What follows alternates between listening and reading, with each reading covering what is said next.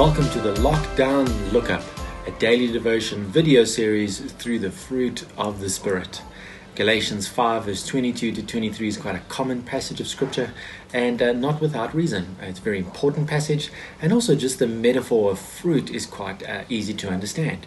Even Jesus would say in Matthew 7, verse 19, that you will recognize them by their fruit. And so the idea is quite simple. If you have the Holy Spirit in you, then there will be evidence of that. And the evidence, according to Galatians 5, is this list of characteristics that we call the fruit of the Spirit.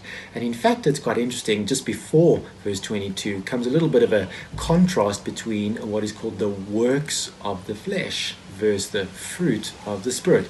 There's a subtle difference there uh, between works and fruit. You see, when life lived in the flesh, just in our humanity, is a life of striving, of labor, of hard work.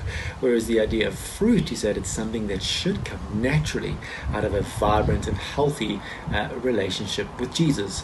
Now, before we get to these list of characteristics, today I want to make a case for just how important this list of the fruit of the Spirit is.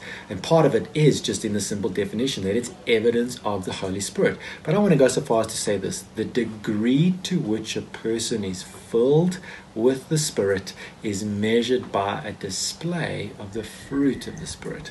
So that's really important. A degree to which someone is filled with the Spirit will be evidenced by the display of these fruit of the Spirit.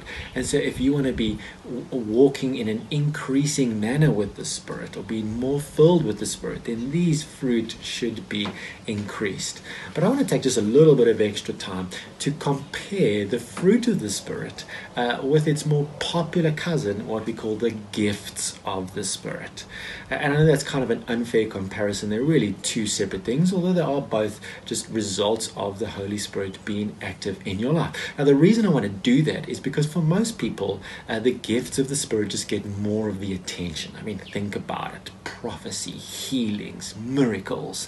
Those just sound like things we would want to pursue in our lives versus like patience, kindness. I mean, really, it's just uh, not quite as glamorous as the others. But I want to I want to compare these two for a second here, just so we can see how important this is. So here's four reasons uh, why the fruit of the Spirit should be preeminent in our thinking as evidence of the Holy Spirit. So, number one, uh, all fruit of the Spirit, so all of these nine things, all fruit should be experienced or evident in all Christians' lives.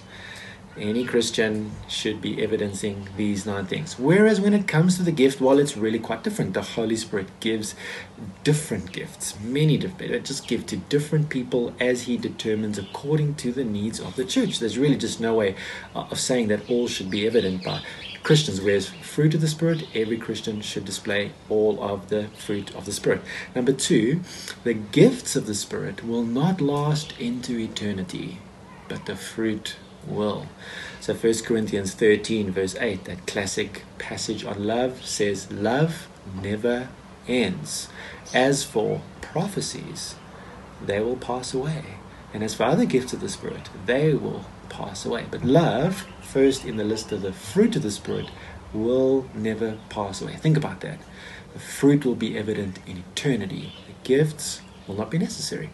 Number three, there is an overlap I think, when it comes to the gifts of the Spirit, there's an overlap between the gifts and kind of natural human ability and even personality. Uh, kind of the idea is that, you know, if you practice hard enough at something, uh, you can get good at it. And maybe that's not entirely possible with the gifts, but uh, I mean, let's be honest. Uh, some people would claim to have some of these gifts. Really, it's just their charismatic personality and it can get quite abused. Whereas when it comes to the fruit of the Spirit, man, I just don't believe that you can fake that. You can't fake patience. I mean, you either got it or you don't. And so it's, it's really a higher degree of evidence of the Holy Spirit than gifts. Uh, number four, and this is the clincher in my argument character or fruit sustains gifts. In other words, comes first, and is more important. Now, where do we see that? Well, 2 Timothy chapter 2 is an important passage about how God uses different people, and it's an urge to kind of um, flee from sinful things so that God would use you. So, this is what it says It says, Now, in a great house, there are not only vessels of gold and silver, but also wood and clay, some for honorable use, some for, well, dishonorable. Therefore, if anyone cleanses himself from what is dishonorable, he will be a vessel for honorable use, set apart as holy, useful to the master of the house, ready for every good work. That's what we want to be. We want to be the vessels for honorable use, ready for every good work, set apart by the master of the house. So, flee youthful passions and pursue, listen to this list, righteousness, faith, love, and peace. Guess what? Those appear on the list of fruit of the Spirit. Pursue those things along with those who call on the Lord from a pure heart. In other words, pursue the fruit and you'll be set apart to be used by God in remarkable ways, i.e., gifted for use once the fruit is evident. So basically, I'll put it this way the gifts are great, the fruit is necessary. And so we really want to see these fruit grow in our lives. That's why we're doing this video series. And we hope that by the end of lockdown, the fruit of the Spirit will have increased in our lives as evidence of the increasing work of the Holy Spirit. See you tomorrow.